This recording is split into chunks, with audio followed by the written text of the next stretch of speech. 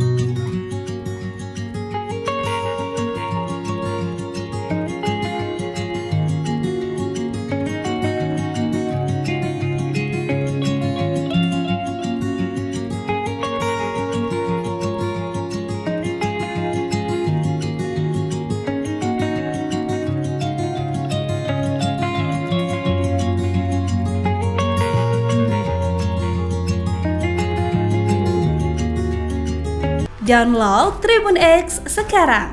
Menghadirkan lokal menjadi Indonesia.